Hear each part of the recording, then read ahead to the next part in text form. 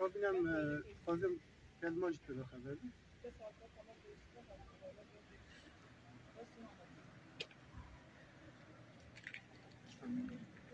Ee, Türkiye genelinde bütün cezaevlerinde uygulanan ağır bir tecrit var. Bundan dolayı da e, yaklaşık iki haftadır açlık grevindeler. E, biz tutuklu aileler olarak da çocuklarımızın bu onurlu du- duruşlarını, bu onurlu mücadelesinde, eylemlerinde e, yanlarında olduğumuzu e, herkesin bilmesi gerekiyor.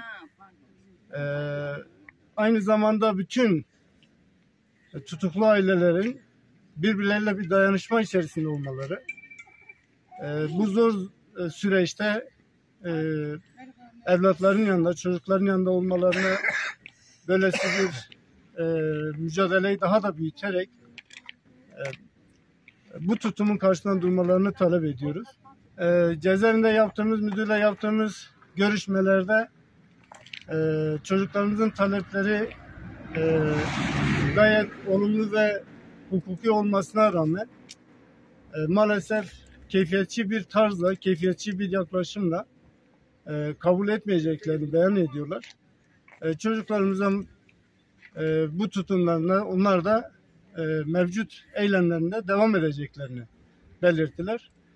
E, bütün basının, bütün milletvekillerimizin, partimizin bu çerçevede e, sesimize e, ses olmalarını, e, ulaştırabilecekleri kadar her yere bu sesimizi, çocuklarımızın sesine e, ses vermelerini talep ediyoruz.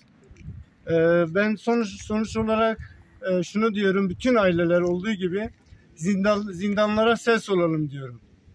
Bici Berkudan'a zindana.